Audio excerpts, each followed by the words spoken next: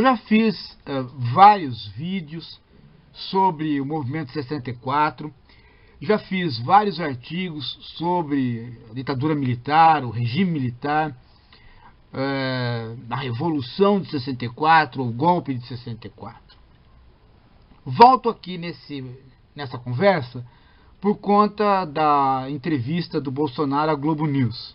Aquela coisa absurda que, que ocorreu, né, com o Bolsonaro é, se mostrando incapaz de estar à altura de ser candidato a vereador, imagina a presidência, né? Mas, enfim, não é essa a questão. A questão é o final da entrevista, quando a Miriam Leitão, que foi torturada pela ditadura militar, é, escutou o ponto da Rede Globo e é, pronunciou uma nota da Rede Globo na frente do Bolsonaro a respeito da, do, das posições da, da Organização Globo em relação a 64.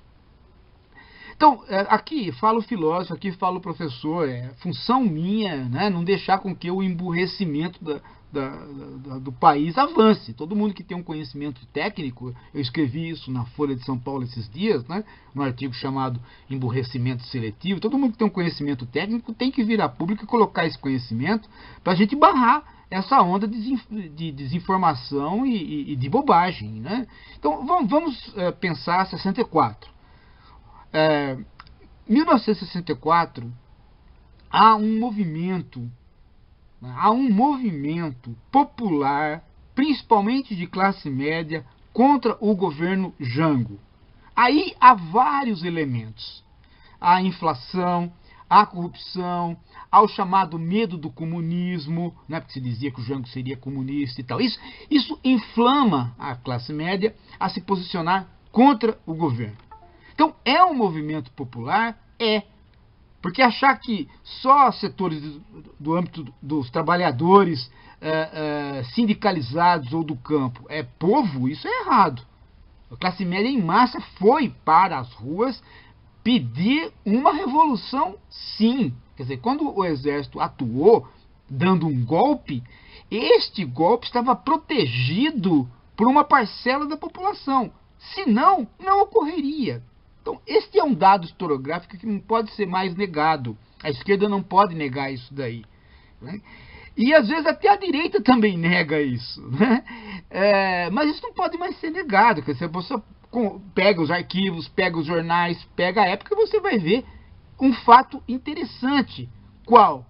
Todos os líderes, todos os líderes civis importantes que não estavam ligados ao Jango, que não estavam ligados ao governo, apoiaram o golpe. Inclusive Juscelino Kubitschek, o grande democrata da nação, também apoiou. O problema é que as coisas não saíram como eles queriam. É? No, como todo golpe, no desdobrar das coisas, né, um grupo foi tomando o poder e alijando os outros aliados, a ponto de nós chegarmos né, com o AI-5, onde há realmente né, uma, uma, um golpe dentro do golpe. E daí para diante todo mundo é, sabe como que evoluiu o milagre econômico, depois o desmilagre econômico, né, e o fim é, da ditadura militar, em 85 no colégio eleitoral. Então é preciso tomar uh, certo cuidado com este movimento, porque você vai notar que muitas pessoas que se posicionaram contra o golpe no decorrer da história, lá atrás estavam a favor. E muita, e, e, e muita gente desconhece isso, porque o processo é longo. Então você pega um, um Tristão de Ataíde, né, um fervoroso católico de direita, ele se posicionou no decorrer da história contra. Você pega um artífice do golpe, como o Carlos Lacerda, logo depois ele fica contra. Você pega o próprio Castelo Branco, que é presidente, o primeiro presidente do, do golpe do regime militar, ele próprio começa a se indispor com elementos das Forças Armadas que o chamam de comunista porque ele quer fazer uma reforma agrária. E assim vai indo até você ter né, uh, uh, a, a, própria base do, do governo, inclusive alguns militares no governo já querendo dizer que acabou o ciclo, precisa acabar com esse ciclo do regime militar, etc. Pois bem, nesse contexto, nesse contexto, em 1984, 1984, o Roberto, portanto, um ano ainda de, antes de acabar o golpe, o Roberto Marinho ainda está sob a ideia de que o golpe foi bom. Mas esse processo interno dentro da Rede Globo vai se modificando. A Rede Globo se penitencia por ter apoiado o Collor.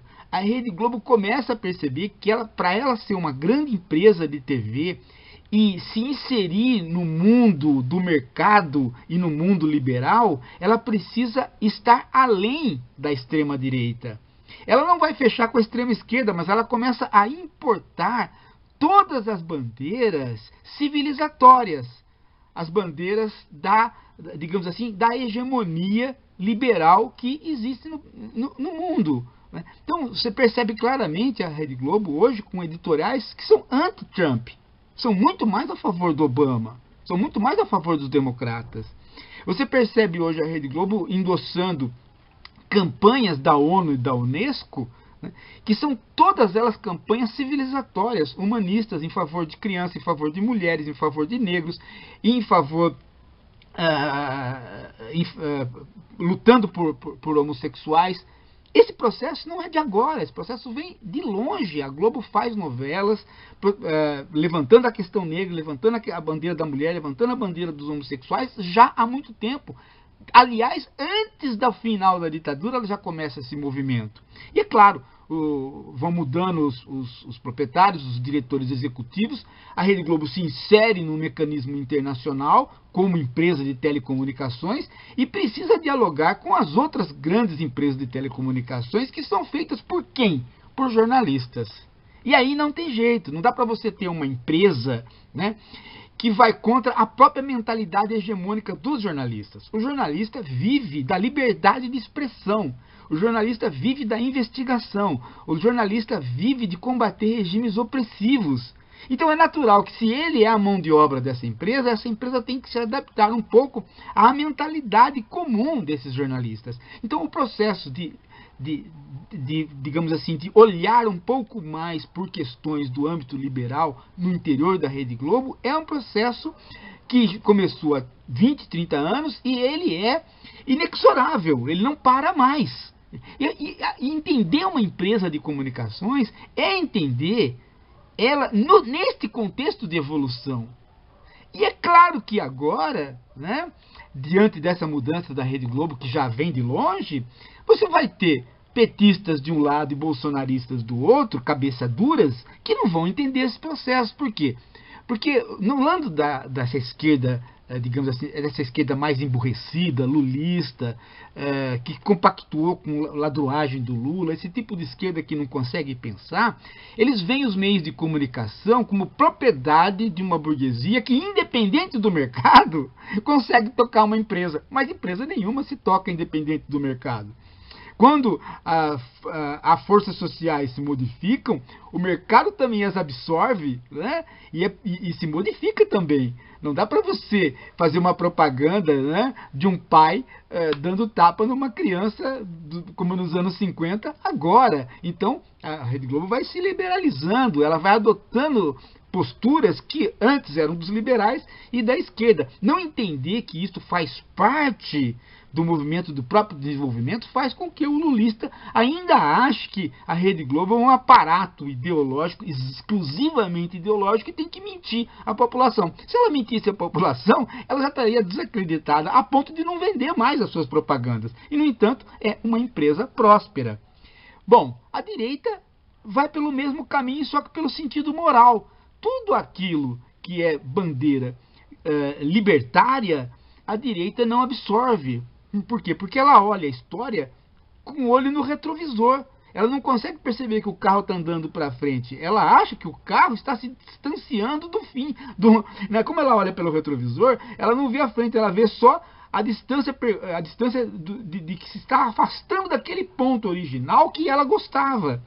E aí ela começa a chiar, começa a reclamar e vai adotando posições tão emburrecidas quanto a da esquerda, posições anti-aborto, posições anti-mulher, posições antinegros, posições homofóbicas, né? tudo aquilo que não é de uma plataforma puramente de esquerda, que é de uma plataforma liberal e a favor do capitalismo, a favor do regime de mercado, porque o regime de mercado é um regime de empresas hoje, de marcas. Não se compra produtos, se compra marcas. Nós adotamos as marcas.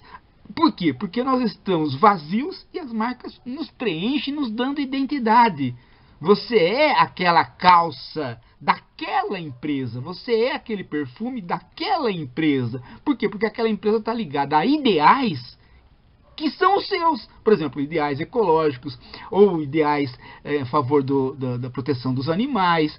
São ideais que as, são ideais, são marcas que adotam posições éticas, as compram e as devolvem para nós, para a nossa identidade esvaziada. Se essas marcas são, uh, se essa identidade é progressista por conta de, de que nós estamos num mundo de individualidades e de mais liberdade individual, a direita vai chiar. Mas isso não desmente o processo capitalista. Isso não vai contra o processo capitalista. Isso faz parte do processo, nós chamamos de sociedade de mercado. E é, é preciso estudar essas coisas para entender como é que nós estamos evoluindo. A direita e a esquerda não querem estudar, elas querem fazer proselitismo, elas querem ficar cegas, elas querem conservar né, uh, dogmas ideológicos. Elas não querem entender esse processo. Então, no voltando à história do golpe de 64, é um pouco a, a, né, a redenção da, da Rede Globo em relação ao golpe de 64, dizendo que ela não apoia mais e que desde 2013 ela fez o editorial dizendo que foi um erro apoiar. Isso faz parte da inserção da Rede Globo nessa hegemonia de pensamento liberal democrático que compõe o Ocidente. Você pode dizer, ah, mas não tem nenhum país democrata e liberal autêntico. Claro que tem, dentro das condições históricas. Né? Você falar assim para mim, ah, mas até a eleição dos Estados Unidos foi manipulada pelos russos. Democracia dentro das condições históricas datadas. Não é possível ter condições históricas e a democracia funcionando aqui fora das condições históricas. Ela é feita dentro da nossa vida, dentro das possibilidades. E dentro das possibilidades, o horizonte dela é a liberdade individual, né? é o governo do povo pelo povo, e as empresas estão absorvendo isso para manter a sociedade de mercado, que é prima irmã da, do ideário eh, liberal, funcionando. Né? E aí a Rede Globo quer se inserir dentro desse panorama internacional. E é claro que ela não vai compactuar com, eh, com sistemas fechados, né? com sistemas fechados, com sistemas xenófobos, nacionalistoides né? da direita ou da esquerda. Pois bem, gente, eu acho que o que eu disse dá bem o caminho para vocês percorrerem aí alguns artigos, alguns estudos, né? E abrir a cabeça para o entendimento do que é uma empresa de comunicação e entendimento da história e não ficar preso a campanhas políticas de energúmenos. Né? Os bolsonaristas e os lulistas funcionam hoje como uma pleiade de energúmenos. Não dá para acompanhar essas, essas figuras. Eu não estou definindo aqui voto, não. Eu só estou dizendo que, em termos do, da, do entendimento acadêmico, em em termos do estudo, em termos do que o estudante deve fazer, é se afastar não das posições políticas dessas pessoas, mas do entendimento retrógrado dessas pessoas em relação à realidade. Ok, gente? São coisas diferentes. Você pode votar até na extrema esquerda. Na hora do voto é uma coisa, né? Mas o entendimento que você tem da realidade é preciso ser mais evoluído do que a extrema esquerda ou a extrema direita propõe. É isso, gente. Muito obrigado.